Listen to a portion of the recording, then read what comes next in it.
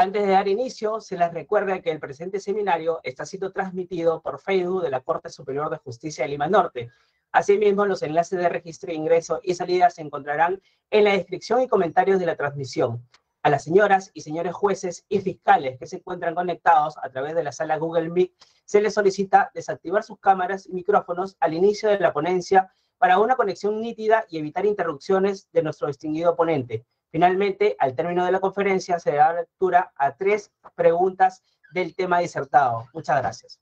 Bien, a las señoras y señores jueces de la Corte Superior de Justicia de Lima Norte, señores fiscales del Distrito Judicial de Lima Norte, personal jurisdiccional y público en general, sean cordialmente bienvenidos al seminario magistral organizado por la presidencia de esta Corte Superior de Justicia, que ha congregado en esta primera sesión para aperturar con broche de oro este evento académico en esta primera sesión tenemos el honor y nos honra presentar al ilustre doctor César, profesor doctor César San Martín Castro, juez supremo titular de la Corte Suprema de Justicia de la República.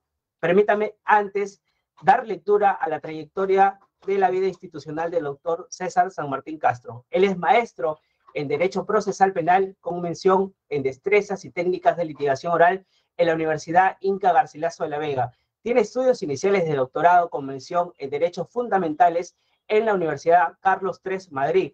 Cuenta con estudios de maestría en Ciencias Penales por la Universidad Mayor de San Marcos. Ha ocupado el más alto cargo de presidente del Poder Judicial y de la Corte Suprema de Justicia de la República durante el periodo 2011-2012. Ha obtenido los más altos reconocimientos, entre ellos nombrado entre los 100, 100 protagonistas del año 2019 por el diario El País de España condecoración de la Orden Peruana de Justicia en el grado de Gran Cruz, Resolución Administrativa 12-2010, Sala Plena, entre otros prestigiosos reconocimientos. Es profesor ordinario en la categoría principal, área de Derecho Penal, Facultad de Derecho, curso de Derecho Procesal Penal, profesor en la Maestría de Derecho Penal en la Pontificia Universidad Católica del Perú. Es autor de diversos libros, entre diversos logros y reconocimientos de su tan exitosa trayectoria institucional. Sin más preámbulos, dejo en uso de la palabra de nuestro distinguido ponente, el profesor doctor César San Martín Castro, quien disertará el tema impugnación en el Código Procesal Penal. Adelante, doctor. Muchas gracias. Eh, agradezco profundamente a la Corte Superior de Lima Norte por haberme invitado a este seminario y espero que mis ideas, mis expresiones, sea de utilidad para los señores jueces, fiscales, abogados, funcionarios y empleados de la Corte Superior de Justicia del Cono Norte. Como se trata de un tema muy general y tengo un tiempo muy definido, quiero exponer algunas ideas eh, centrales que no es posible o que necesariamente tienen que tener presente quienes aborden el tema de la impugnación. Tal vez desde el punto de vista de la teoría general de la impugnación, nuestro código tiene desde una concepción teórica una influencia fundamental de la dogmática procesal alemana. Desde un punto de vista, además de las construcciones específicamente normativas, desde luego está, sobre todo en el ámbito de la apelación y de la casación, el Código de Procedimiento Penal Italiano de 1978. Son los dos grandes, así como algunas directivas y desarrollo jurisprudencial que ha desarrollado, que ha optado y expuesto la jurisprudencia y la dogmática española. Por tanto, de este conjunto de normas sale un sistema que me parece importante tener presente. En primer lugar, dogmáticamente, una institución, la más amplia del sistema, es la que los alemanes llaman remedios procesales. Es un concepto muy amplio y que además lo utiliza el artículo 356 del Código Procesal Civil. Eh, un remedio procesal, cualesquiera, diré cuáles son, eh, es un instrumento procesal que la ley pone a disposición de las partes y por excepción de los intervinientes accesorios y excepcionalmente, muy excepcionalmente, del juez, instrumento encaminado a provocar un nuevo examen de los asuntos resueltos o tramitados. Podemos identificar en el código, en el corpus del código, 10 grandes remedios procesales que el código incorpora. Y los enumero rápidamente.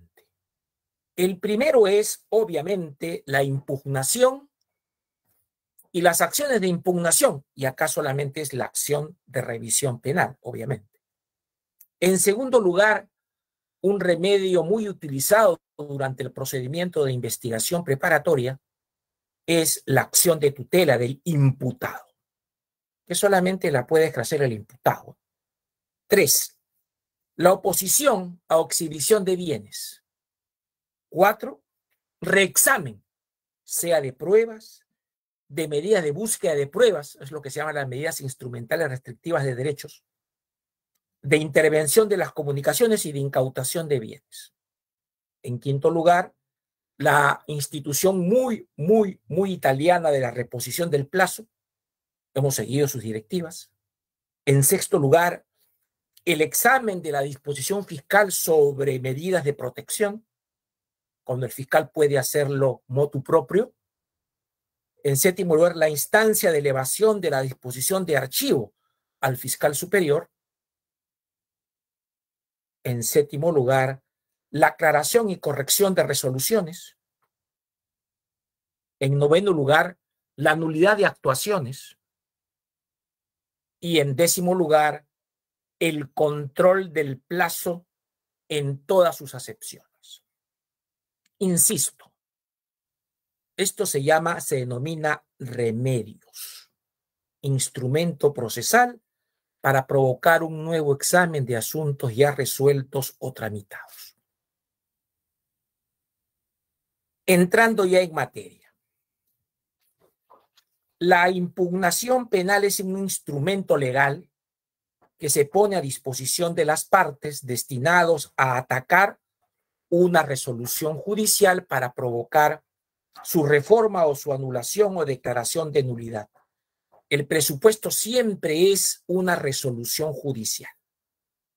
El Pacto Internacional de Derechos Civiles y Políticos, que luego me, me abocaré a una precisión, indica que en caso de sentencias condenatorias debe preverse un recurso efectivo para su revisión conforme a la ley del Estado miembro. Claro, si es un pacto de esa magnitud donde existen muchos países con sistemas jurídicos diferentes, pues evidentemente las reglas tienen que ser generales y tienen que respetar las grandes tradiciones. En el caso nuestro, la tradición romano canónica o del civil law. Esto es algo que también hay que tenerlo eh, muy presente. La impugnación penal tipológicamente tiene dos grandes eh, instituciones. La acción de impugnación, que importa siempre incoar un nuevo proceso cuando la sentencia, por eso es nuevo proceso, ya adquirió la calidad de cosa juzgada, la revisión. Y luego tenemos en los medios de impugnación que están dirigidos a producir una nueva cognición, un nuevo conocimiento de cuestiones ya resueltos mediante resoluciones que no son firmes. Son pues una prolongación del derecho de acción. Por eso que siempre uno de los criterios desde la garantía de tutela jurisdiccional es interpretar las normas que regulan los recursos desde una perspectiva favorable al derecho pro acción, ¿no es cierto?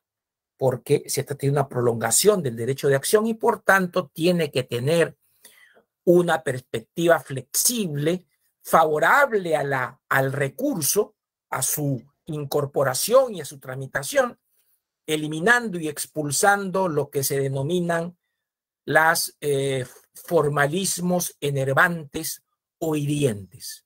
Este es un tema también sumamente importante que tenemos que tener presente.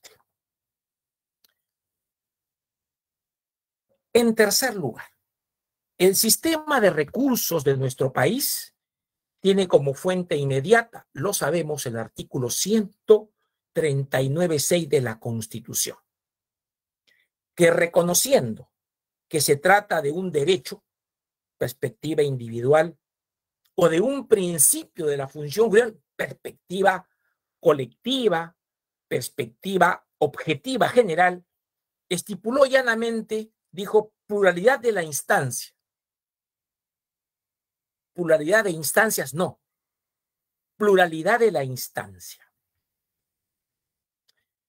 Y esto, a partir de ello, este precepto, interpretado en relación con el artículo 14, numeral 5 o apartado 5 del Pacto Internacional de Derechos Civiles y Políticos, y con mayor amplitud con el artículo 8, numeral 2. Hay diferencias entre el 14 del pacto y el octavo de la convención. Eso ténganlo también, también presente. Y esto determinó que el llamado principio de la universalización o la generalización del recurso de apelación, que es un principio compatible con lo que dicen las convenciones, con el sistema del civil law. Y la idea es que sol tiene como mínimo, como mínimo, que procede siempre contra sentencias o contra resoluciones o lo que se llaman autos equivalentes autos que ponen fin al proceso, fin a la instancia, extingan, extingan la acción penal o causen un gravamen irreparable. En estos supuestos es obligatorio el recurso.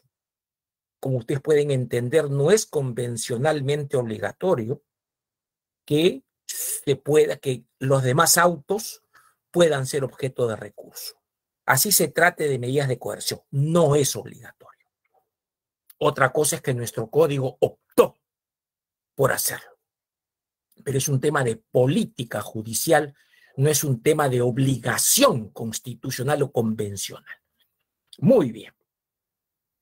Ya saben ustedes, el artículo 14.5 del Pacto de Nueva York estatuye que toda persona declarada culpable de un delito tendrá derecho a que el fallo condenatorio y la pena que se le haya impuesto sean sometidos a un tribunal superior conforme a lo prescrito por la ley. Este precepto en pureza no impone el sistema de doble instancia en el entendido de concebir la apelación a la, la, la nueva instancia como un novum judicium. No lo impone. No lo impone.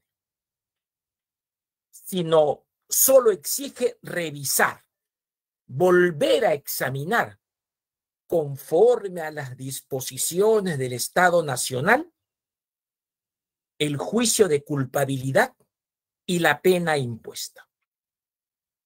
El artículo 8, numeral 2 de la Convención Americana sobre Derechos Humanos dice que durante el proceso toda persona tiene derecho en plena igualdad a las siguientes garantías mínimas. El derecho a recurrir del fallo ante juez o tribunal superior, Nada más que eso. O sea, que sea un recurso instancial, que sea un recurso devolutivo. Punto. No dice más la convención. Y nuestro artículo 139, ya lo he dicho, pluralidad de la instancia, que fue una norma que repitió la de la Constitución de 1979. Norma o constitución que además repitió lo que la esta constitución del 79 consagró el recurso de casación como un recurso constitucionalmente impuesto. Otro tema que también es relevante. La Convención Americana y la Constitución Nacional conciben el recurso como correspondiente a todas las partes y se debe ejercer, como dice la Convención, en condiciones de igualdad.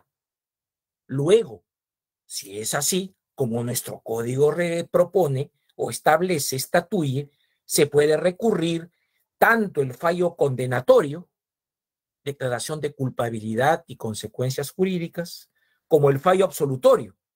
Y están autorizados a recurrir tanto las partes acusadoras cuanto las partes acusadas. El recurso, como consecuencia de la evolución histórica de la organización judicial y en orden a su efectividad, ha de ser por mandato convencional, un, ha de ser vertical, o sea que debe ser conocido por un juez superior en la estructura organizativa del Poder Judicial, que cada vez es más compleja.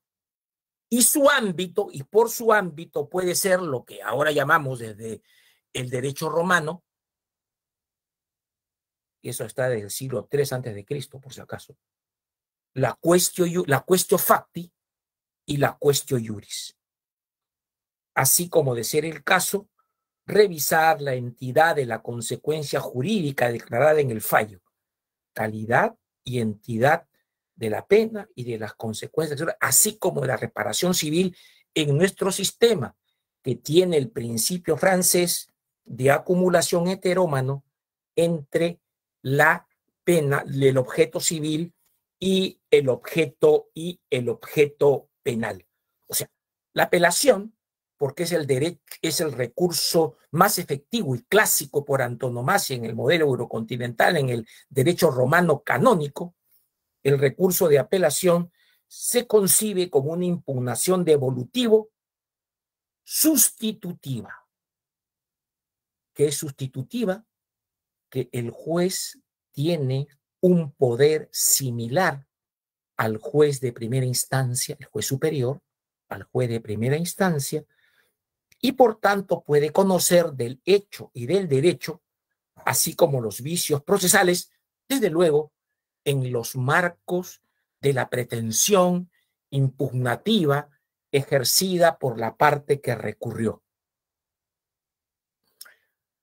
Y aquí entra a tallar mucho el genio francés, porque desde las ordenanzas reales francesas fusionaron la nulidad o la querella nullitatis con el recurso de apelación, que por ejemplo pasó de un modo clarísimo en el al artículo 473 del Código Procesal Civil francés.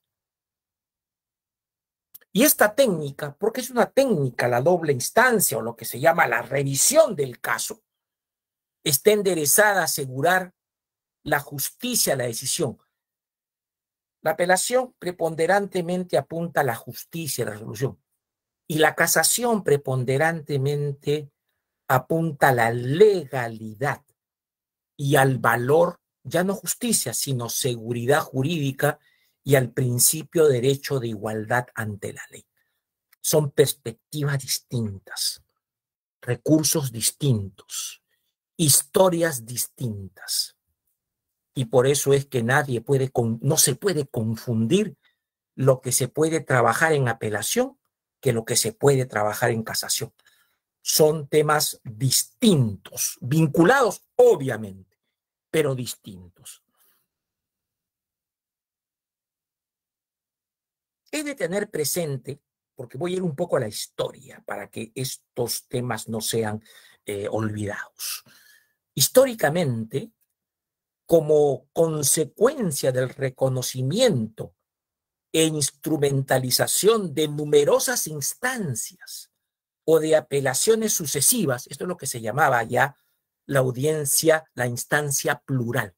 Numerosas apelaciones, tres, cuatro, cinco, que es un modelo propio del derecho canónico medieval y del actual derecho de la Iglesia y del derecho histórico español, como un, como una técnica para evitar tantas impugnaciones, se creó el sistema del doble conforme es una técnica creada en Francia, destinada a limitar el número de apelaciones. De modo que donde una decisión ratificaba la anterior, allí se detenía la posibilidad impugnativa. Esta técnica, vamos a nuestro país, se asumió en nuestro derecho histórico procesal, puesto que, por ejemplo, fueron solamente la idea de limitar tres las instancias fijadas en las constituciones de 1823, 26, 28, 34 y 39. El artículo 103 es que decía, no se conocen más que tres instancias en los juicios. Así de sencillo. Ahora, en lo civil, quiero que capten esta evolución. Fue la ley de 24 de agosto de 1832, dictada bajo la constitución de 1828. En esta constitución, el artículo 111 numeral 5, establecía que la Corte Suprema conoce los recursos de nulidad contra las sentencias dadas en última instancia por las Cortes Superiores en el modo y forma que la ley designe. Fue esta ley, la de 24 de agosto de 1832, la que sancionó que no procedía a la tercera instancia si eran conformes las sentencias de primera y segunda instancia. Esta posición, sin embargo, sin embargo, existe, esta, existió, no fue ratificada por el Código de Enjuiciamiento en Materia Civil de 1852 al reconocer el carácter instancial del recurso de nulidad y la libre posibilidad de acceso a la tercera instancia a la Corte Suprema de Justicia. El modelo de la primera ley citada la de 1832, fue eliminado por el decreto dictatorial de Castilla, de Ramón Castilla, de 31 de marzo de 1855. En la creencia errónea que al desterrar el recurso de súplica, el recurso de nulidad podía suplirlo, que no es cierto. El Código de Procedimientos Civiles de 1912 reiteró la consagración de la triple instancia, aunque con ciertas limitaciones mediante el recurso de nulidad. Acá no hay eso de que el doble conforme era una, una característica inherente a la apelación y al sistema de impugnación, de que siempre tiene que haber dos condenas contra una persona. No, no, no, no. Solamente la doble revisión de la misma cuestión debatida en primera y segunda instancia. Que nada más, que nada más, bajo la idea de que no había más recursos porque se entendía que matemáticamente, cuando dos instancias distintas, con jueces distintos, pero con los mismos criterios de evaluación, decían lo mismo, era un indicio absoluto de justicia de la decisión. Eso fue el argumento. No es que el, doble, que el doble grado que tienen que haber dos condenas conformes. No. Sino tienen que haber, eso fue para evitar más impugnaciones. No es de la esencia de la apelación. Vayamos a, la, evolución del código de, los, de los códigos procesales penales, de las leyes procesales penales peruanas. El artículo 140 del Código de Enjuiciamientos en materia penal de 1863 previó el recurso de apelación contra la sentencia emitida por el llamado juez del crimen, que era de conocimiento esta apelación de las salas de la Corte Superior de Justicia. Y se permitía que en la Corte Superior de Justicia se actúe nueva prueba, que se entendió conforme al artículo 151 de este código como aquella prueba distinta de la producida ante el inferior. Fíjense que desde aquí ya empieza esa concepción que muchos repetimos en algunos fallos, que en algunos autos que no aceptan y que dicen, oiga usted, no voy a repetir en segunda instancia una declaración realizada en primera instancia. Punto. Eso es muy importante. O una prueba o una pericia cuyo perito ha sido examinado en primera, en primera instancia.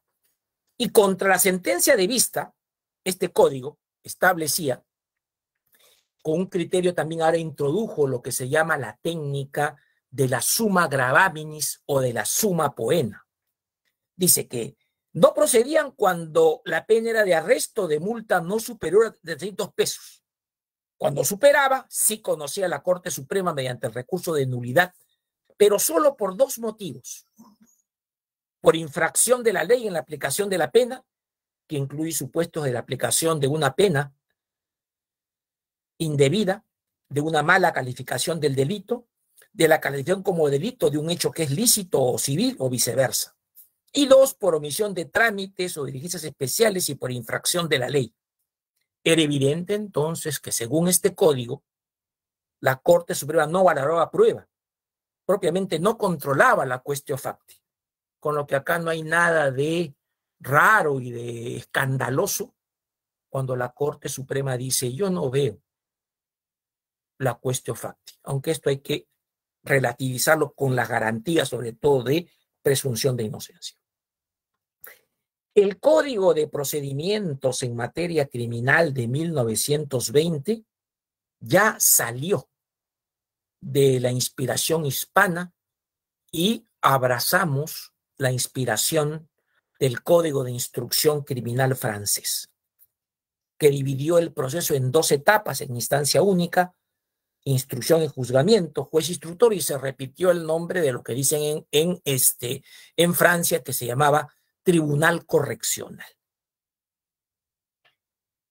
Solo procede contra esta sentencia del Tribunal Correccional recurso de nulidad ante la Corte Suprema, sin límites ahora de la suma gravamis, a la que se le reconoció poderes muy semejantes al clásico recurso de apelación, pero con la prohibición de hacer pruebas y de condenar al absuelto. Esta figurita, esta idea de que dicen no se puede condenar al absuelto, viene desde este código de 1920, repetido por el código de 1940, y que expresamente ha sido revocada, ha sido cambiada por la nueva perspectiva del Código Procesal Penal de 2004, ¿no es cierto? Eso también tenganlo bastante claro. Y decía, ¿cuál fue el argumento de que no se puede condenar al absuelto? De que el tribunal no veía, el Supremo no veía la prueba actuada. Pero bajo ese criterio tampoco se hubiese permitido que se pueda aumentar la pena, porque uno puede, inclusive en ese momento se podía, le imponían una pena de 10 años y la Suprema frente al recurso podía imponer cadena perpetua, ¿no? Cuidado, o pena de muerte pena de muerte. Antes era internamiento con el código del 24. No, pues. Entonces, cuidado con repetir argumentos basados en instrumentos legales superados.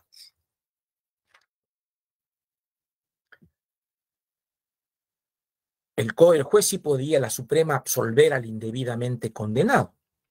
Podía, pero disminuir la pena, pero también podía aumentarla podía anular la sentencia y el juicio, hasta la instrucción incluso. Y, cuando, y como el código instauró, que nunca se aplicó, el sistema de jurado francés o escabinado, entonces podía anular el, eh, no podía anular un veredicto absolutorio emitido por el jurado. Lean los artículos 281 al 287. El código del 40, ustedes ya lo conocen más porque se lo siguen aplicando incluso en algunos sectores para los códigos, para la, para la eliminación o para culminar la etapa, la liquidación. Continúa el modelo del código anterior, aunque las modificaciones que hizo el código anterior, eso sí, ¿eh? reconozcamos, tenía un sentido más conservador, con unas lógicas reaccionarias, de reacción y por tanto de crítica al código de 1920. No solo expulsó el jurado, sino que eh, no introdujo la diferencia entre acto de investigación y acto de prueba. ¿Correcto? y esto fue introducido recién en el código de 2004, como saben, como saben ustedes. Y en lo demás, repitió el modelo del código de 1920, que concibió el recurso de nulidad, que era un nombre que fue tomado de la ley de enjuiciamiento criminal español y de la constitución de Cádiz, ¿no? Recurso de nulidad. Muy bien. La ley orgánica vigente de 1991, desde esta perspectiva, en su artículo 11, no solo garantizó la revisión de las resoluciones judiciales con arreglo a la ley en una instancia superior, reconoció además que el recurso es un acto voluntario del justiciable. No hay recurso de oficio, pues. U ope leyes, eso no existe. Porque el recurso viene a garantizar el derecho del justiciable, del litigante. Es un derecho del individuo, es una garantía individual. No es un medio de control del juez. Eso también que quede claro. Esa lógica burocrática, esa lógica autoritaria, eso no se puede aceptar bajo ningún concepto. Además, la resolución de segunda instancia constituye cosa juzgada, así lo ha dicho. Ilimitadamente contra ella procede un recurso que será el de casación, que obviamente tiene un carácter no instancial, es una impugnación en sentido estricto. En esta línea, el artículo 9 del título preliminar del Código Procesal Civil del 93 estableció que el proceso tiene dos instancias, o sea, ya no dijo tres instancias, dos instancias, salvo disposición legal distinta. Y por tanto, doble instancia es más de uno. Y acá lo ha, con, lo ha atado a dos, a dos. Este conservó el modelo de la doble instancia, no de un esquema de pluralidad de instancias de múltiples posibilidades, varios recursos instanciales sucesivos que comprendería incluso la Corte Suprema. Esto no se aceptó, ¿cierto? La base de este modelo fue adoptado con motivo de la Revolución Francesa por el decreto de 1 de mayo de 1790, que solo admitió dos grados de jurisdicción, un reexamen total sobre el hecho y el derecho. Esta concepción legal fue ratificada cerca de cuatro meses después por la ley francesa de 26 de agosto de 1790 que rediseñó en ese entonces la organización judicial francesa y que de ahí pasó en el, en el 55, 1855 tardíamente, a la legislación española y eso fue punto de inspiración en Hispanoamérica, como saben ustedes. El código vigente asumió el principio primero de taxatividad de las impugnaciones las resoluciones son impugnables solo aquellas que la ley reconoce, solo por los medios que la ley reconoce y en los casos expresamente previstos por la ley. De igual manera, salvo que la ley confiere expresamente el derecho de impugnar a una parte concreta, el derecho corresponde a cualquiera parte procesal. En su título preliminar, artículo 1.4, el código no solo precisó esta noción de recurribilidad expresa, sino que además estipuló que las sentencias y los autos que ponen fin a la instancia son susceptibles de recurso de apelación. El artículo 416, en cambio, amplió el ámbito de la apelación a otro tipo de resolución sobre medidas de coerción, constitución en parte, autos que revoquen la condena condicional, reserva de fallo y conversión de pena pero puso una norma, puso una frase abierta que decía cuando causen gravamen irreparable. Muy interesante esto último. El recurso de casación, según el modelo francés, del que asimismo proviene la doble instancia, en Francia, de la doble instancia francesa, ya no se concibió como un recurso instancial.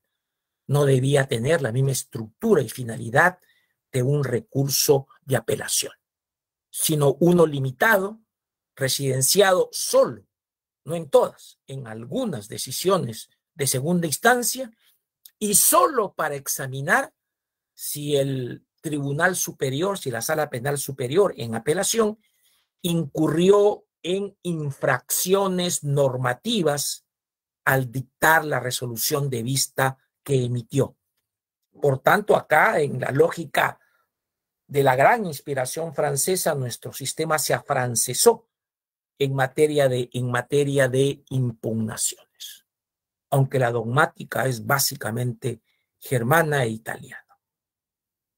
Pero eso tiene que ver con la historia y tiene que ver con el hecho de que Francia luego se desentendió de América Latina, no había traducciones de las juristas franceses y luego hubo el gran trabajo exponencial germano y también italiano. Así que eso es, ahí nomás. Por eso es que hay que explicar, que hay que explicar ese tema. El fundamento de todo recurso es la falibilidad humana, decía Calamandrei o sea, la garantía de acierto de las resoluciones y que además estimule el celo de los jueces. Alcina llegó a decir, el fundamento es la aspiración de justicia, cuyo presupuesto único es el error, la denuncia de un error judicial. Creo que aquí el tema es fundamental. Y hay dos garantías involucradas en el recurso y en el acceso al recurso presunción, perdón, debido proceso que te dice, tiene que haber un recurso contra resoluciones, contra sentencias definitivas y contra autos equivalentes o que causen grave irreparable. Eso es debido proceso. Y tutela jurisdiccional te dice, interpreta flexiblemente desde la perspectiva del principio pro acciones las regulaciones en materia del concesorio. Rechacemos las los, eh, formalidades enervantes, los formulibros, protocolarios que mucho se utilizaba en la Edad Media y en principios de la modernidad. Este es un tema que es sumamente, sumamente importante. Ya sabemos que un recurso es un instrumento jurídico habilitado al efecto contra las resoluciones que no han adquirido firmeza e inciden sobre un proceso todavía pendiente y que prolonga su pendencia, por lo que impiden que llegue a producirse la denominada cosa juzgada formal. Recurso, decía Couture, quiere decir literalmente regreso al punto de partida es un recorrer, correr de nuevo el camino ya hecho. Mediante el recurso que se pide, la parte pide que se produzca un nuevo examen de lo que fue resuelto en la resolución que se recurre, en cuanto a la misma le sea desfavorable. Está la lógica acá del gravamen y tiene que ser parte que la lógica muy, muy, pero muy germana de requerir como una exigencia de presupuesto y de admisión del recurso desde la perspectiva subjetiva que eh, se tenga adicionalmente a la idea, a la idea del agravio, todo aquello que, eh, que significa conducción procesal. Solamente las partes y todos aquellos que la ley lo habilita tienen conducción procesal. Y por eso es, fíjense ustedes, por eso es que el código no es que se haya equivocado o porque es diferente, es sencillamente la, la opción dogmática utilizada.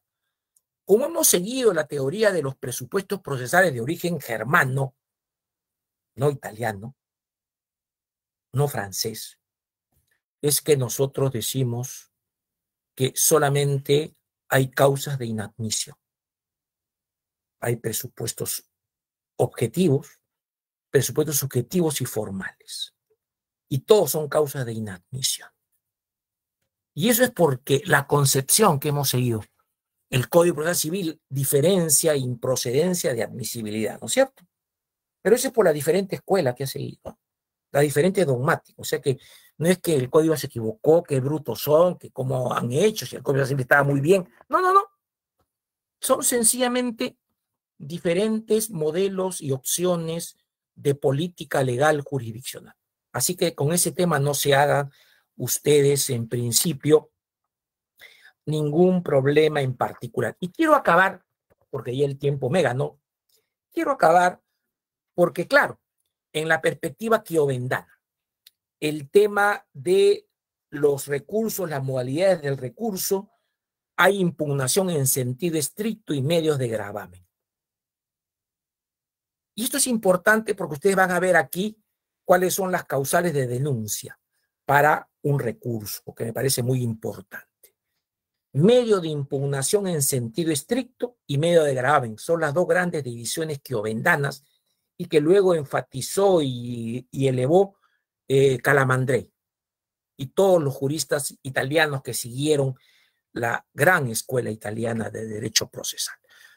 Medio de impugnación en sentido estricto están dirigidos a alcanzar la nulidad, o mejor dicho, un término mejor que nulidad es la rescisión de la resolución, ya sea por vicios de actividad o por, por defecto o defectos de juicio, o que son vicios improcedendo el primero y vicios injure, injudicando injuri e injudicando infactum, hecho, derecho.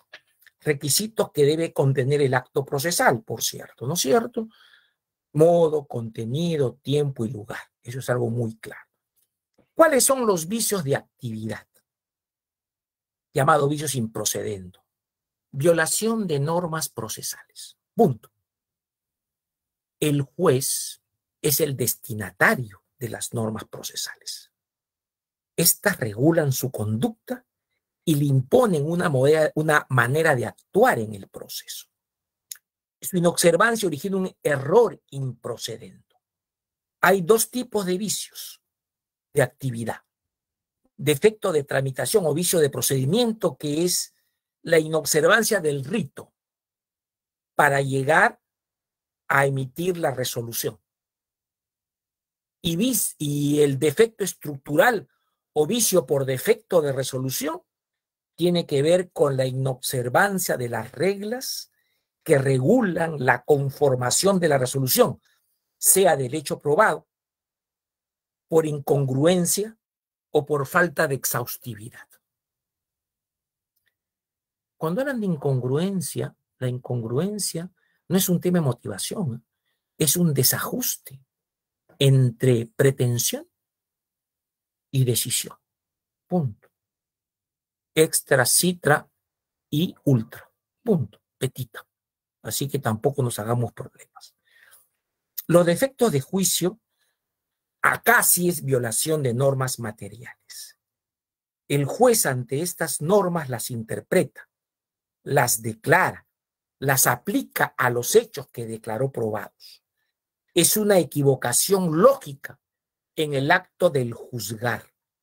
Es una vulneración de los presupuestos que determinan la corrección de su contenido. Hay dos tipos igualmente de defectos de juicio.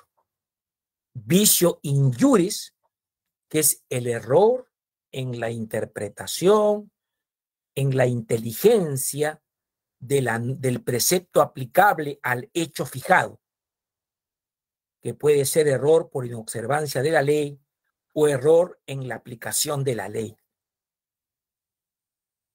El error en la aplicación, tú sabes que esto es un tema entre interpretar y aplicar. Interpretar es el sentido de la ley. Y el tema aplicar es la subsunción del hecho de la fatiespecie o del tipo delictivo tipo legal con el hecho declarado probado. El error puede estar en, cómo se entiende el tipo delictivo o que se aplica un hecho distinto. Muy bien. Luego tenemos el vicio infactum. Es muy importante. Vicio, error en la fijación de los hechos. O sea, un problema que tiene que ver con la prueba y tiene que ver ya sea con el derecho probatorio y por tanto se declara como probado o no probado lo que no lo está. Este es un tema importante, o sea, sobre la situación de hecho, la cuestión facti. Y la cuestión facti es un defecto sustancial, ¿ah? no es un defecto procesal, no es un defecto procesal, porque trata de decir qué hecho que eso me va a permitir la subsunción y esto me va a permitir aplicar el derecho y determinar muchas situaciones importantes. El medio de gravamen, con esto acabo, está ordenado a obtener una resolución judicial sustitutiva de la impugnada, pero que no necesariamente debe ser ilegal o ilícita. Se sustenta en el principio del doble grado de jurisdicción, doble grado de jurisdicción. Y acá es eh, importante tener presente estas, estas eh, diferencias entre doble grado de jurisdicción, doble instancia y recurso de apelación. ¿Habrá doble instancia cuando se recurra por razones materiales de derecho penal sustancial una sentencia? Punto. Y esto exige actividad probatoria muy restringida en particular. Nada más que eso.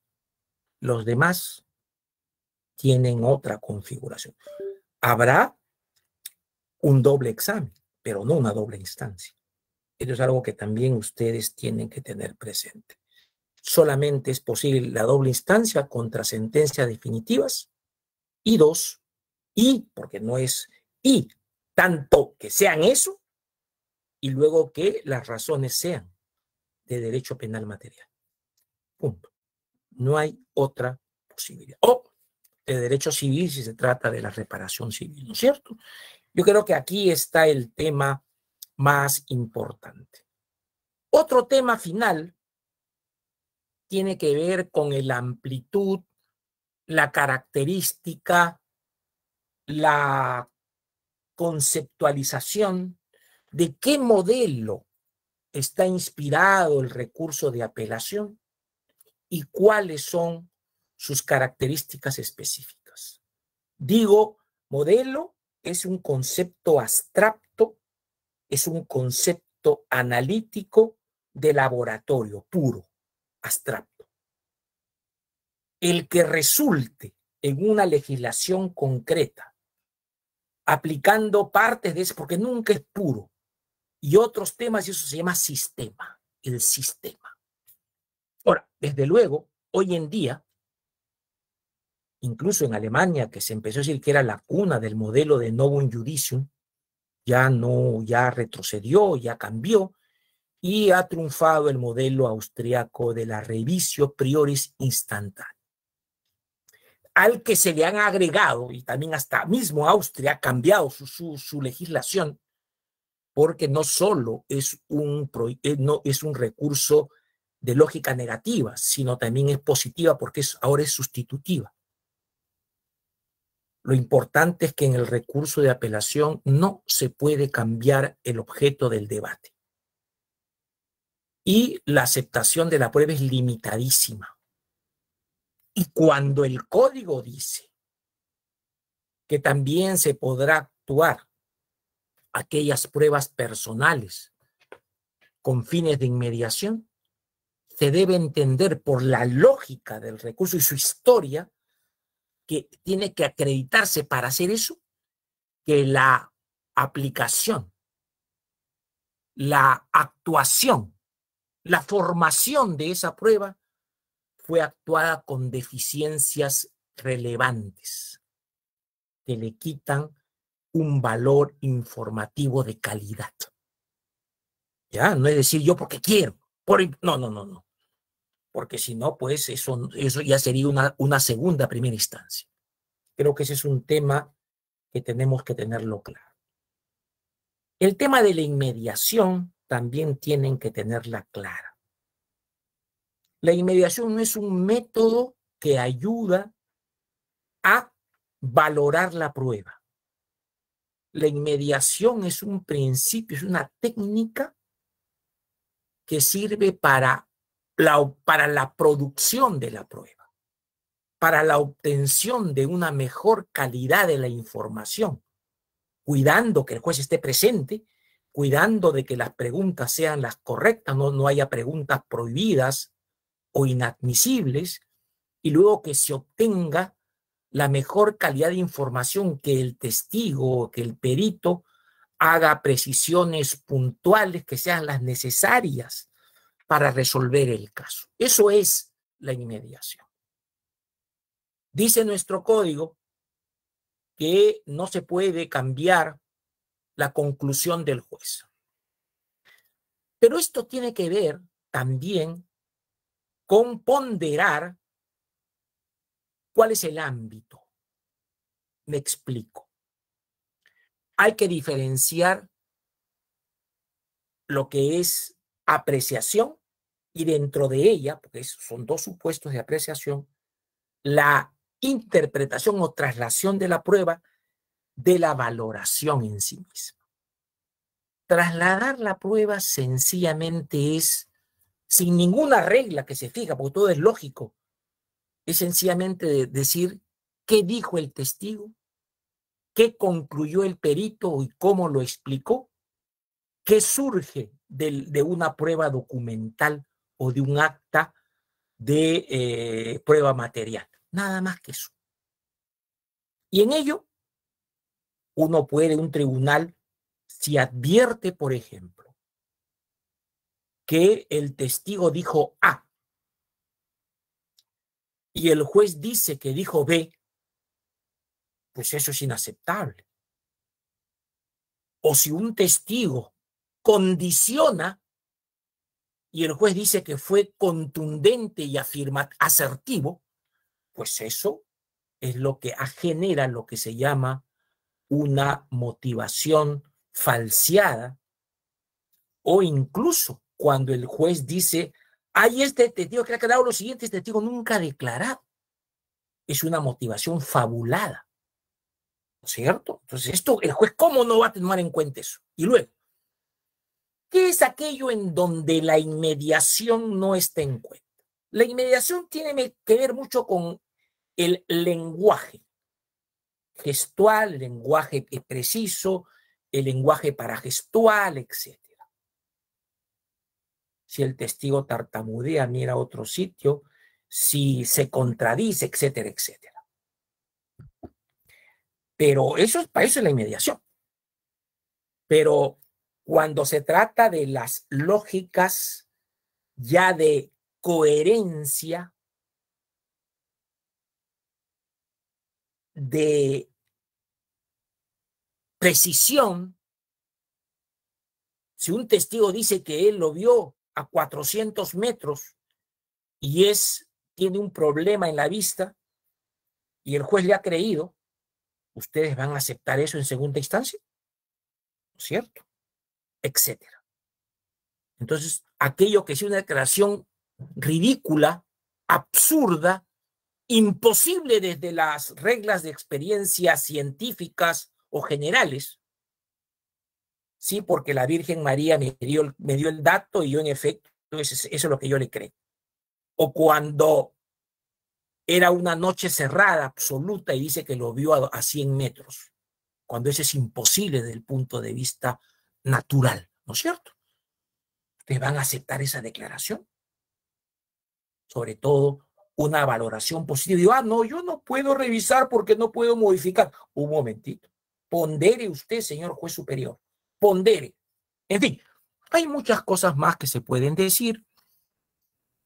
Distinto ya porque el juez de apelación hace una nueva, un nuevo examen sobre el mismo objeto.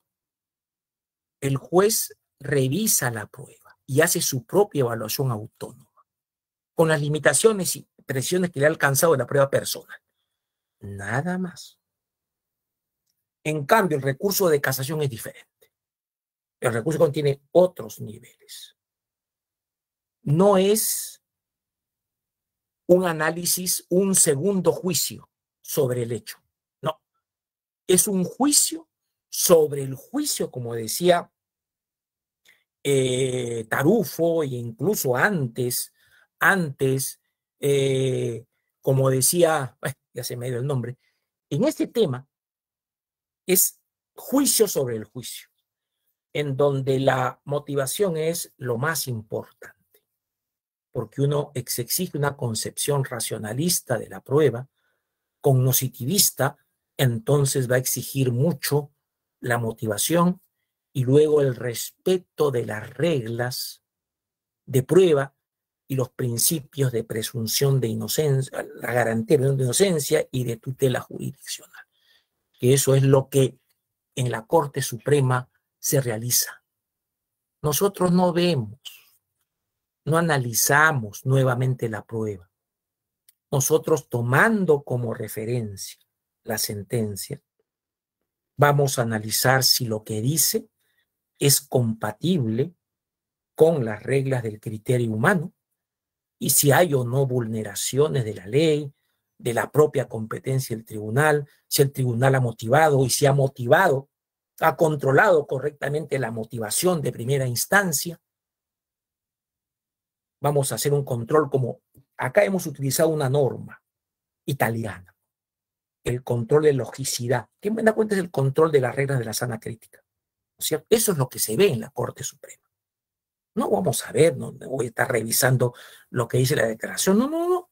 Solamente cuando se dice, cuando se denuncia una, una motivación fabulada o una motivación falseada. Ahí sí.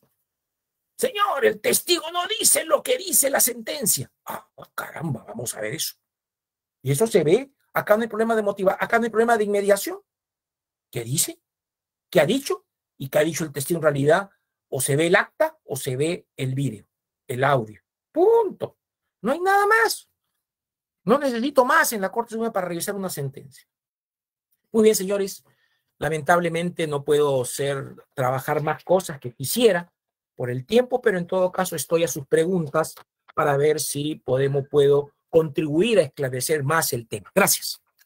Bien, de antemano, doctor, agradecerle la magistral e interesante disertación a cargo de su persona con su notable trayectoria en la judicatura peruana. A continuación, voy a dar lectura de las preguntas que los magistrados me han brindado. La primera pregunta es la siguiente, del doctor Cristian Serna Manjari, juez coordinador de los juzgados de investigación preparatoria. ¿Cómo interpretar el objeto de impugnación auto que cause gravemente irreparable? Porque es un muy mal ejemplo para impugnar. Por ejemplo, los autos que resuelven nulidades que usualmente se plantean cuando se les venció el plazo de impugnar ordinariamente una resolución determinada. A ver, en primer lugar, ¿tiene usted razón quien pregunta que por la nulidad uno no puede sustituir un recurso impugnatorio al que debió de acudir? Tengan ustedes en cuenta que un principio de la nulidad es que una vez emitida la resolución definitiva todo se purga. Eso ténganlo muy presente.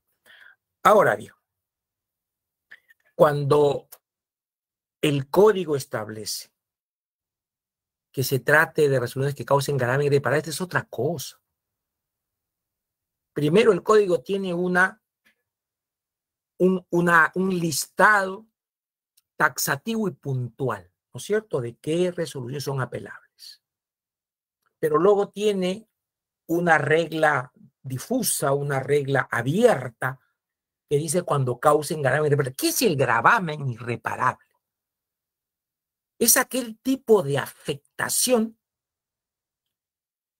que no va a poder ser resuelta, corregida en el transcurso del procedimiento y que tiene tan grave lesión y afectación al futuro de la causa que puede hacer nugatorio el derecho, la garantía de defensa procesal. Y esto se interpreta siempre restrictivamente, ¿ya? Pero cuidado. También he visto eso. Y eso pasa cuando, por ejemplo, no hacen, no plantean contra una sentencia por ejemplo, una corrección, una aclaración, una integración. Y todo es nulidad. No, señor, no procede nulidad contra esas sentencias. No, hay toda una doctrina que mucho ha evolucionado. La doctrina argentina, desde Peirano en adelante, tiene una serie de reglas, de, de principios, de postulaciones que hacen de la nulidad muy, muy acotada, pero en casos realmente graves, y no como un camino que en buena cuenta es un camino de mala fe, es un camino chicanero para lograr la extensión indebida del juez, del, del, proceso. Además, cuando una nulidad, le digo a ustedes, solamente es procedente respecto de la actividad externa, actos externos del proceso, actos procesales, ineficacia de actos, y no para combatir la opinión o el concepto jurídico del juez el tema de fondo no es para nulidades. Eso también tienen que tomar en claro. Vicios de actividad, defectos de juicio. Nada más. Bien, doctor. Muchas gracias. Vamos a dar lectura a la siguiente interrogante también que nos ha dejado en esta tarde de seminario magistral. ¿Cuál es el fundamento constitucional o racional que determina que el legislador haya optado por otorgar un determinado efecto a un recurso. Por ejemplo, porque el efecto de casación penal es sin suspensión de la ejecución de la sentencia, a diferencia que en lo civil, donde la casación se concede suspendiendo los efectos de la sentencia impugnada. Fíjese usted, siempre en la teoría, en los recursos, en la política de los recursos, hay una tensión. Porque el recurso lo que tiende es a prolongar el tiempo de la actuación procesal. Entonces, siempre se ha postulado algunas reglas que quieren cautelar dilaciones indebidas. Y por eso que nuestro código tiene un principio ¿no? Que es la ejecución provisional de las resoluciones, salvo en apelaciones de sentencia y en autos equivalentes, ¿no es cierto? Ese es el principio. Como quiera que el recurso de casación no es un recurso instancial, y como quiera que ya se ha dicho que la instancia plural culmina con la sentencia de vista,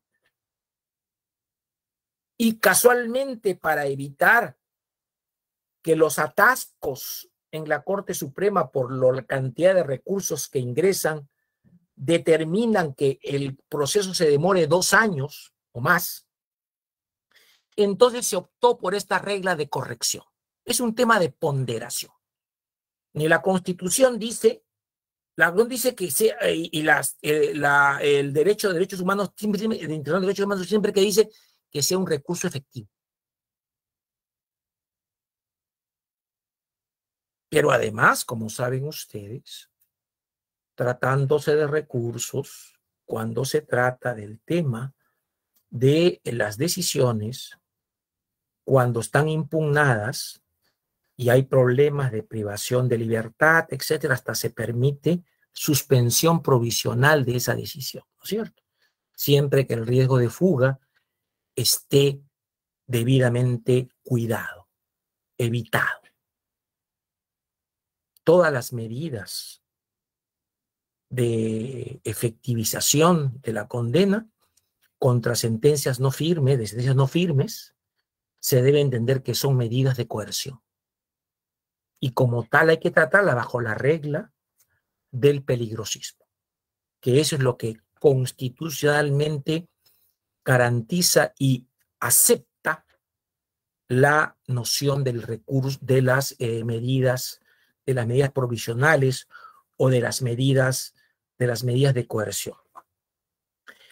No hay ninguna norma que o ningún concepto que sostenga que el hecho mismo de que la casación no sea suspensiva no hay una regla que te diga que eso afecte el debido proceso. No, nada. Al contrario, garantiza uno de los derechos instrumentales del debido proceso, cuál es evitar dilaciones indebidas que genere una afectación al derecho de quienes han ganado limpiamente un proceso. Bien, doctor. Las dos últimas preguntas, ¿estamos bien con los tiempos o podemos dar lectura a una de las preguntas? Como usted quiera, siga usted. Bien, doctor, perfecto. En relación al recurso de casación, podría decirse que existe una suerte de antinomia normativa entre lo que señala, primero, el artículo 427, inciso 4 del nuevo Código Procesal Penal, cuando refiriéndose a la casación excepcional dice, cuando la Sala Penal de la Corte Suprema discrecionalmente lo considera necesario, concordado con el artículo 430, inciso 2, que dice, la Sala Penal Superior solo podrá declarar su inadmisibilidad en los supuestos previstos en el artículo 405 o cuando se invoque causales distintas de los enumerados en el código. Pero lea pues el 3, el que le sigue. Y con lo que señala el artículo 430, inciso 3 del mismo cuerpo normativo penal, cuando dice, si se invoca el numeral 4 del artículo 427, la sala penal superior para la concesión del recurso, sin perjuicio de lo dispuesto en el numeral anterior, constatará la existencia de la fundamentación específica exigida en estos casos. Es una constatación formal, ¿no? Que haya una argumentación específica. Y punto. El contenido, la validez o la razonabilidad de esa motivación, salvo que sea un absurdo, no es analizada, es analizada por la Corte Suprema de Justicia. Vamos a ver. Esta es una suerte de certiorari que amplía las posibilidades de que la Corte Suprema pueda conocer de determinadas situaciones que tienen una importancia, una relevancia especial lo que hemos dicho siempre, siguiendo a los argentinos, de suma gravedad institucional o de lo que hemos dicho también siguiendo a los españoles de interés casacional. En algún momento precisamos que hay varios supuestos de interés casacional, ¿cierto? Uno que tiene que ver con la novedad de la norma, otro que tiene que ver con la existencia de interpretaciones disímiles en varios tribunales superiores, etc. ¿no? Y hoy en día estamos también incorporando otros datos que tienen que ver con el interés de jus constitutionis que tiene, que tiene el, el motivo que se alega. ¿Qué tan importante es para generar jurisprudencia un caso? ¿En qué medida se trata de una institución que, cuya decisión tiene efectos generales de un modo prevalente? ¿Qué tan fino es el tema jurídico, es la infracción jurídica que se denuncia y que se quiere que se interprete. Muchos este, litigantes en este punto lo que hacen es hacernos preguntas, como si nosotros fuésemos, fuésemos los alumnos que tenemos que responder un examen. Eso, eso siempre lo, lo, lo descartamos de plan. Usted tiene que indicar por qué es un tema especialmente relevante ¿Por qué se requiere que la Corte asume competencia funcional? ¿En qué medida se trata de un asunto cuya resolución va a tener trascendencia en el ordenamiento para los demás casos? Eso tiene que justificarlo racionalmente. Vamos, se llama demostrar lógicamente su viabilidad. Y dice discrecionalmente porque la Corte es la que aprecia. Ahora, no es una discrecionalidad como arbitrariedad es una discrecionalidad jurídicamente vinculada en que el tribunal se basa en los principios. Va a decir, vamos, el tema que me plantea tiene trascendencia. Y punto. Es una valoración que se hace. Entonces eso es, acá no hay ninguna, no hay antinomia. No hay antinomia. Se trata de un supuesto que amplía las posibilidades de acceso a la Corte Suprema por su propia función de uniformizar el ordenamiento jurídico desde el derecho penal. Punto. Y en ese tema hay unas ideas que se dicen siempre que la Corte Suprema tiene que estar involucrada en resolver todos los recovecos del ordenamiento jurídico. Y por eso es que tenemos esa posibilidad, esa posibilidad. Hay entonces un acceso obligatorio, que creo que es mucho, hay que ya ir trabajando hacia accesos. Un sistema intermedio interesantísimo es el sistema alemán. que habla de la trascendencia de cada caso. Que eso ha permitido en lo civil, sobre todo, eliminar y hacer más tolerable la carga de procesos y resolver antes, a resolver en tiempo récord las causas. Eso no lo tiene Italia, que tiene más de 200 magistrados en la Suprema y no se puede. Hay que hacer aquí esto para bajar la carga y ser más cualitativos en la decisión de las causas. Bien, doctor, ahora sí, la última pregunta de este seminario magistral con su brillante participación.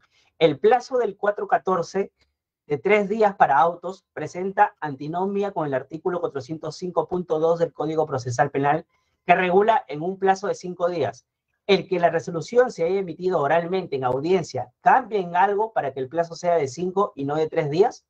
A ver, ¿me dice de qué tipo de resolución? ¿Qué tipo de recurso? ¿Apelación o casación? No sé. ¿Qué dice? A ver si fuera tan amable de decirme, explicarme bien, repetirme la pregunta, por favor. Su cama, su, su, su micro, su micro, su micro. Está apagado. Perfecto. Ahora sí, ahora sí, a ver. Repítame la pregunta, por favor. El plazo del 414C de tres días para autos presenta antinomia con el artículo 405.2 del Código Procesal Penal que regula un plazo de cinco días, el que la resolución se haya metido oralmente en audiencia cambie en algo para que el plazo de cinco, para que el plazo sea de cinco y no de tres días. Primero se trata de autos interlocutorios. ¿No? Tres días para el recurso de apelación. La apelación, así es. Contra autos interlocutorios. ¿No?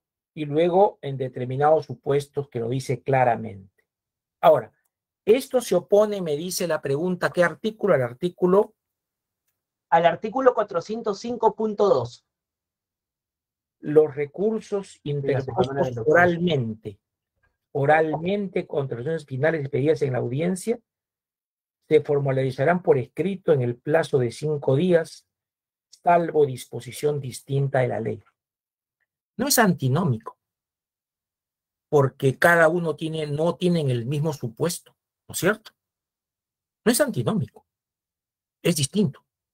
Ahora, la pregunta es, ¿es razonable esta distinción? ¿Es razonable? ¿Qué se ha considerado? Y como uno ha estado asistiendo, ha estado en la audiencia, uno ya tiene un sentido mucho más, un recuerdo, una percepción mucho más cercana del caso y de la decisión. Y por tanto, se le exige un menor plazo. Ahora, esto no quita que sobre la base del principio o de la garantía de tutela, esa disminución sea irrazonable y por tanto tenemos que decir de que la formalización tiene que cumplir, no tiene por qué ser distinta, ¿no? En cuanto a los plazos, no puede ser menores, no puede ser menores. ¿Y por qué digo tutela? Porque ante una antinomia hay que optar por el proacción, aquella normativa que favorece la efectividad del recurso y qué duda cabe que será más efectivo en términos de, de tiempo para argumentar cuando se da más tiempo. Ahora, nosotros siempre hemos sido históricamente muy cicateros para los plazos para recurrir. En otros países son dos meses, 60 días, ¿no? O sea que tampoco aquí es un tema que, que tenemos que tener muy en claro. Contradicción de sentencias hay que dar un tiempo prudencial, debe ser mucho más extenso. Y además muchos creen, este es el problema que tenemos nosotros, primero porque no hemos estudiado retórica, eso es un tema de, defecto de formación, y lógica, lógica también no hemos estudiado lógica, hay un problema que creen de que cuanto más escribes mejor, o cuanto más causales de impugnación consideren en su recurso, es mucho mejor. A veces tengo nosotros en la Corte Suprema, en casación penal, vemos que el Señor me invoca los cinco motivos de casación, las cinco causales.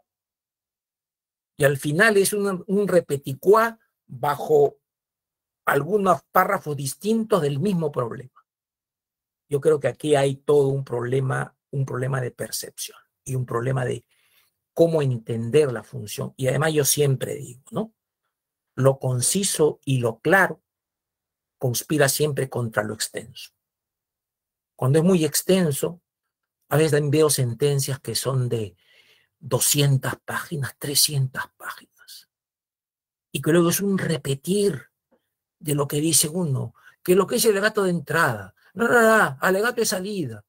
La prueba hasta repiten el o, el tema así de la declaración de, las partes cuando tienen que hacer un resumen ideológico, un resumen concentrado del tema. Y claro, recién en la página 70, 70, 80, ya cansados empiezan a trabajar el tema propiamente de valoración. Uno tiene que llegar hasta allá para luego ver que en verdad el tema puntual está en tres, tres líneas o está en dos párrafos. Es un tema que tiene que ver con la forma como se redactan las resoluciones. Y hemos ido siempre en bandazos. Antes las resoluciones casi ni se motivaban, ¿no es cierto? Y ahora hay una, una sobre, un exceso de motivación. No de motivo, porque la motivación es la necesaria, la que el caso requiere, que debe ser clara, precisa y concisa. La concisión es un arte que hay que saberlo cultivar y hay que saberlo utilizar para no generar unas decisiones tan extensas que al final lo que hacen es que la cola de causas pendientes se alargue cada vez más. Señores, la motivación es la necesaria, la que exige el caso concreto y debe ser siempre clara y debe ser precisa. Esos son los consejos que se dan. Uno que tiene tantos años en el tema, hay que denunciar las motivaciones pletóricas. Base normativa, el tipo penal, bien jurídico, sujeto activo. ¿Para qué diablos me hacen eso? ¿Qué se, si tiene relevancia para el caso B, pero si no la tiene, ¿para qué me ponen tanto? Claro, hay todo un mito y una exigencia, creo que perversa, en los organismos de nombramiento de jueces que les exigen citas doctrinarias y tantas cosas cuando eso es caso por caso. Eso dependerá del caso. Pero que me citen toda la dogmática. Luego, sobre el tema de tantum apelatum quantum de brutum, me citan párrafo de... ¿Qué sentido tiene? ¿Cuál es el problema aquí? Todo depende de lo que es materia del recurso. El problema es el problema del caso concreto. Y al caso concreto, frente a los agravios, se le da una respuesta precisa y contundente. Pero no excederse en grandes discursos en donde se quiere demostrar la sapiencia teórica del juez. No. No, yo creo que la cosa, estamos trabajando un sistema que al final va a ser muy perverso, con nosotros mismos incluso. Hay que tener cuidado. Tienen que reflexionar acerca de cómo se entiende una correcta motivación. Gracias. Bien, Doctor, me, acaban de repetir una pregunta final, no sé si la puede responder, es la última pregunta. No, no, como no, a ver, a ver, plantea. su tiempo. Dice, respecto al control de admisibilidad del recurso de apelación por parte del juez de primera instancia, por ejemplo, contra las resoluciones que imponen el mandato de prisión preventiva, es una práctica común que los abogados defensores, al momento de fundamentar su recurso impugnatorio, no cumplan con la formalidad que establece en el artículo 405 del Código Procesal Penal, agravios, fundamentos de hecho y de derecho, y que se concluye con una pretensión concreta. La pregunta es, ¿el juez debe ser estricto con la formalidad o flexible al momento de calificar el recurso atendido, que es evidente que lo que se, que lo que se cuestiona es la privación de la libertad en suma y se debe primar el control judicial bajo el principio de doble instancia? A ver, a ver, a ver, vamos a ver. Usted me está hablando de los presupuestos formales del recurso.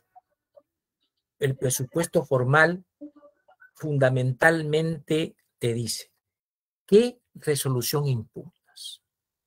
qué parte, si la resolución tiene varios capítulos, se llama en doctrina varios capítulos, qué capítulo, qué punto de la resolución de las sentencias y sentencia cuestiona.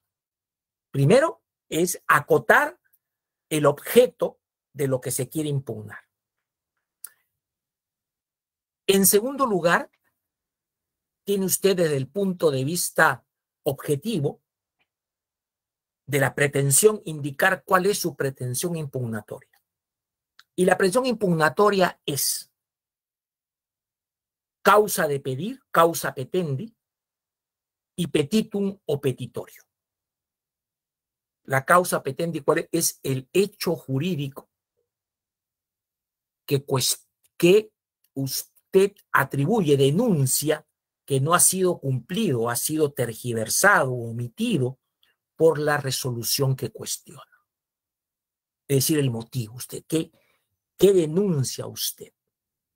Como el recurso de apelación es un recurso ordinario y que se permite por cualesquiera motivos, ¿no? No es como en la casación que el, en la causa de pedir es, es indicar cuál es el, la causal que usted se ampara.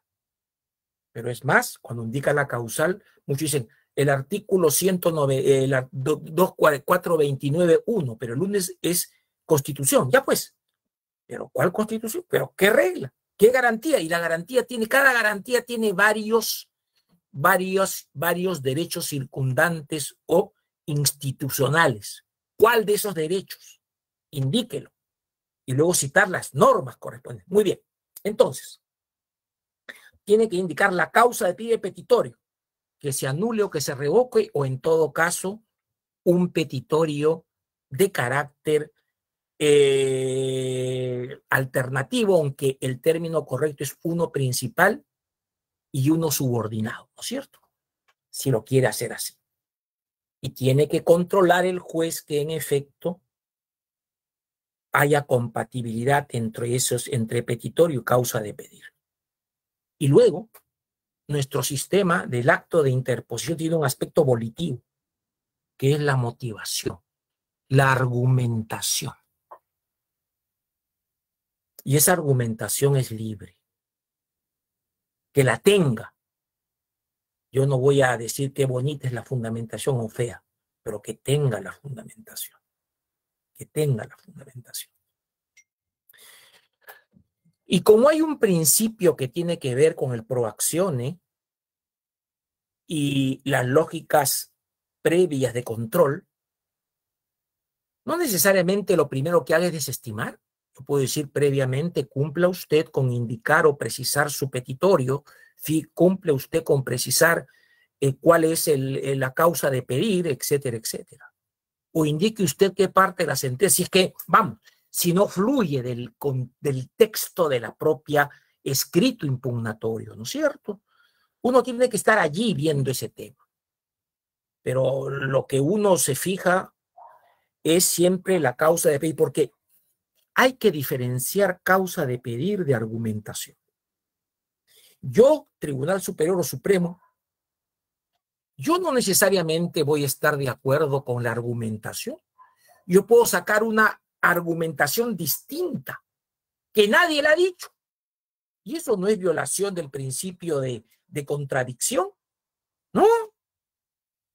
Lo único que se me pide a mí es sea usted fiel a la pretensión. No incurra usted en una incongruencia. Nada más, yo puedo dar por otro argumento. No que ese argumento yo no lo puse, ah, su problema, pues. Pero no tiene nada que ver no tiene nada que ver con uno, en consecuencia. El juez lo que tiene que cuidar es eso. ¿Qué resolución? ¿Qué ámbito de la resolución? Ver si esa resolución es una resolución apelable, ¿cierto? En segundo lugar, tiene usted que ver el agravio. ¿Cuál es el, no, perdón, el, el, el gravamen? El gravamen es un aspecto formal, que es decir, entre lo que yo pedí y lo que me dieron, qué diferencia, qué desajuste hay. Ese es el gravamen conducción procesal, ver si soy parte, etcétera, etcétera. Luego tenemos el tema de la, los presupuestos formales, ¿no es cierto? tiene que decirme, debe ser por escrito, cuando es la fundamentación, tiene que decirme, oiga usted, esta es la resolución, esta es la parte, esta es mi causa, esta es mi pretensión, o sea, mi causa de pedir y mi petitorio, y esta es mi argumentación que justifica lo que estoy denunciando, que es materia del que, que es la base del recurso. Punto. Y tengan en cuenta de que lo que uno puede hacer es solamente agregar argumentaciones en la instancia, en la, en la segunda instancia o la suprema. Puede motivar, pero no puede agregar causa de pedir nuevas. Ya no puede. Por eso uno tiene que tener cuidado de que diga la causa de pedir. Yo creo que con eso las cosas eh, están, están muy claras. Y la posibilidad de que le pida usted una precisión bajo apercibimiento y no una admisión también es importante. Nada de formalismos enervantes. ¿ah? Acá se trata de garantizar el acceso al recurso. ¿No es cierto? Claro, que si lo hace fuera de plazo, ni modo, pues eso ya es caducidad. Acá no haya nada que hacer. Gracias. Bien, doctor, agradecemos el tiempo que haya tenido para responder a cada una de las preguntas. El día de hoy hemos tenido diversas preguntas, seguro en otra oportunidad voy a dar lectura para que su prestigiosa ponencia a través de su persona pueda en otra oportunidad concurrir a la Corte Superior de Justicia de Lima Norte. Voy a continuación a solicitar que activen sus cámaras porque voy a dar lectura. Un minuto, por favor. Sí, correcto. Me, producción me dice, ¿se, ¿se puede ver el diploma? Sí. correcto. La presidencia de la Corte Superior de Justicia de Lima Norte, que preside la jueza superior titular Carmen María López Vázquez, agradece, doctor, su magistral disertación en este magno evento y su valioso aporte académico. A continuación, daré lectura al diploma de reconocimiento. Diploma de reconocimiento otorgado al profesor doctor César San Martín Castro, juez supremo titular de la Corte Suprema de Justicia de la República por su participación en calidad de ponente en el seminario magistral Impugnación en el Código Procesal Penal, desarrollado en la modalidad virtual por Google Meet del Poder Judicial el 19 de agosto del 2022, organizado por la presidencia de esta Corte Superior de Justicia. Independencia, agosto del 2022, Carmen María López Vázquez, presidenta de la Corte Superior de Justicia. Doctor sin más preámbulos, ha sido un grato honor, una complacencia tenerlo en esta Corte Superior de Justicia y seguramente seguiremos a su llamado, a su colaboración proyectiva. Por favor, lo despedimos con un caluroso y granduoso aplauso al doctor César Martín. Muchas gracias a la Corte Superior de Justicia de Lima Norte. Siempre estaré atento y presto a intervenir en las veces que ustedes crean conveniente mi satisfacción y espero que lo que he dicho los pueda ayudar a su trabajo cotidiano en el sistema de justicia. No me crean mucho, pero les doy insumos, insumos para que ustedes puedan eh, seguir eh, estudiando y seguir mejorando el sistema de justicia, que es lo que todos queremos. Muchas gracias, siempre a sus órdenes. Buenas noches. Un honor, doctor. Muchas gracias. Siempre brillante, doctor. Muchas gracias. Gracias, muchas gracias. Bien, de esta manera, señores y señoras, concluimos el seminario magistral en la sesión número uno. Más adelante ya estaremos difundiendo las nuevas sesiones organizadas este seminario magistral por la Corte Lima Norte. Muchas gracias, muy buenas noches. Muy buenas